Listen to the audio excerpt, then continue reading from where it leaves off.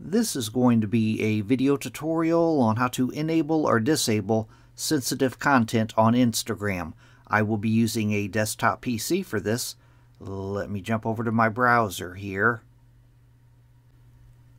I have my browser open now and I'm logged into Instagram. To enable or disable sensitive content, it's very easy to do. First thing you want to do is go to the pane on the left hand side. I am currently on the Home tab.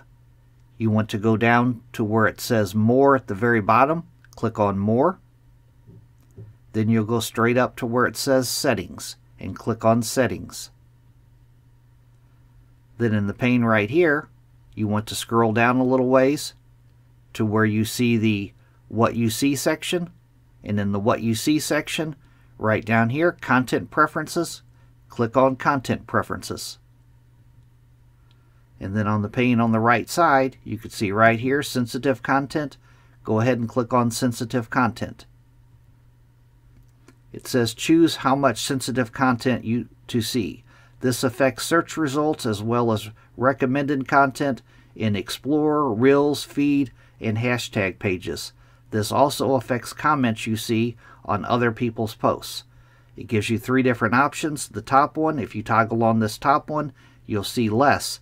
You might see less sensitive content. The middle one is standard, that's probably on by default. You might see some sensitive content and the bottom one is more. If you toggle that one on, you might see more sensitive content.